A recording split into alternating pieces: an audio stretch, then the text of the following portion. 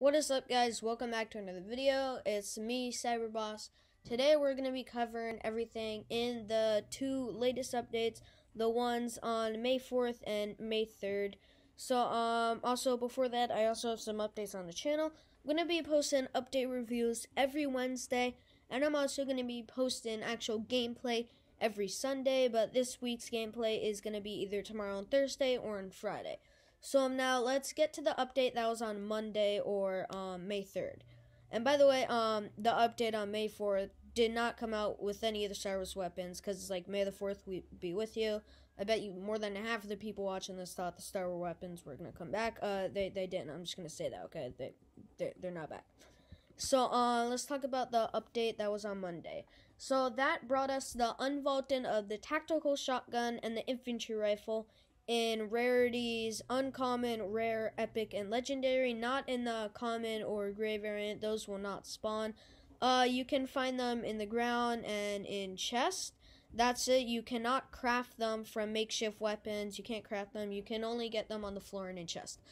And uh, supply drops also. So um, they also added it's easier to get classic loot, and you can get classic loot from supply drops, bunker chest, mythic chest, and yeah, so now you can get classic loot out of those, which you couldn't before. So um, that's pretty poggers, because I think we all can agree that classic loot is the best, or mechanical loot, also same name. Um, so they also uh, made it so mechanical parts spawn 50% more on the ground, and they come out cars 50% more. So it's easier to find mechanical parts, easier to craft mechanical weapons, easier to win the game. So that's pretty nice. And now let's talk about the update on Tuesday. This update didn't do much, but it leaked a lot of stuff for us, like a lot of stuff. So it leaked crossovers for Samus from Super Smash Bros, Naruto from the anime. Um, we have Ariana Grande, lots of other crossovers, and also the Batman Zero skin came out, so that does confirm that Batman is in the loop and if you look at Batman and the Warrior Jonesy, they both have the same belt. So that means they're both trapped in the loop and they're both trying to find their way out. And I'm going to show the trailer for the um, Batman skin right now. Skip to the time on screen if you don't really want to see it or you already saw it. If there's one thing I know about you,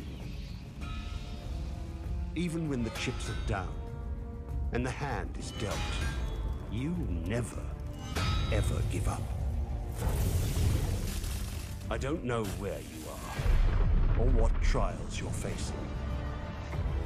But I have nothing but pity for whoever gets in your way.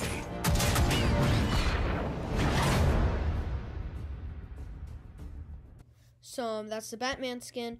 We're also getting um, a LeBron James. Uh, he's gonna be a secret skin coming up either next season or season 8, season 9, maybe even chapter 3, you never know. But he's going to be a secret battle pass skin coming out soon. And um, we also have further confirmation about the sandbox game coming out. It is confirmed. It's going to come out. And um, Battle Lab was taken out of the game. Um, it got put back in, but that it was taken out so um because of the sandbox mode. So the sandbox mode could um replace battle lab or they could both be in it. But it they're, they're probably gonna both be in it. So the sandbox mode it's like creative but you already have a pre-map. And um you can do more things than you can do in creative and some same things that you can do in creative so we're also going to be getting a new basketball game mode and you can already play basketball in a party royale actually but it's going to be coming out as like an actual game mode. So that's going to be uh, pretty cool. Can't wait to see it. And um, that's everything in the uh, latest uh, 3.15 update and the update that was on Monday. Once again, the Star Wars stuff did not come out. No Star Wars skins for May the 4th. Um, yeah, I'll see you guys in the next one. Bye.